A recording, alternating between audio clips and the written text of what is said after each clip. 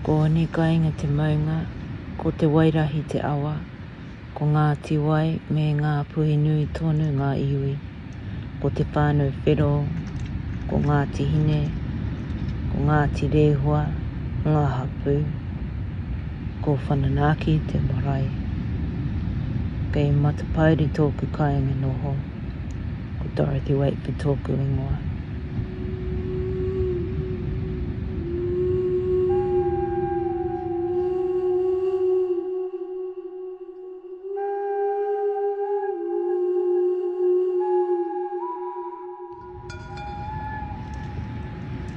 I feel really blessed to live where I live.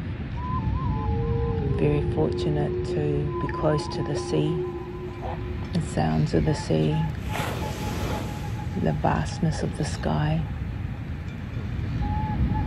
the colours and the sounds, the smells.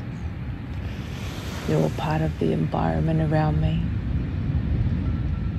I have, uh, I guess, a natural affinity to uku or clay.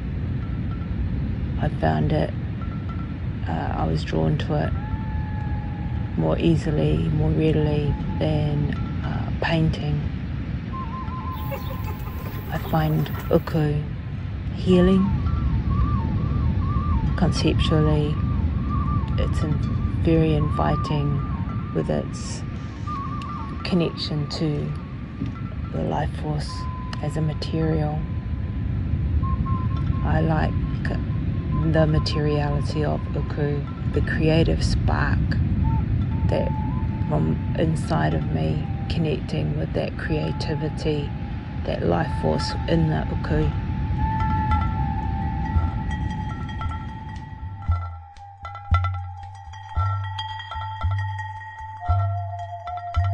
So with Dot, um, I was looking for a textural element because her, her sculpture is so elegant and beautiful. It doesn't need much at all, like just look at it. So when I saw her initial drawings, I just thought, oh, this is just gonna be nice and simple. So I was looking for a textural element, one, um, to bring whiteness into the piece, because I think white is quite beautiful in an outdoor setting. It's quite an unusual colour to get really strong. So I was playing with, these are called ret reticulated glazes.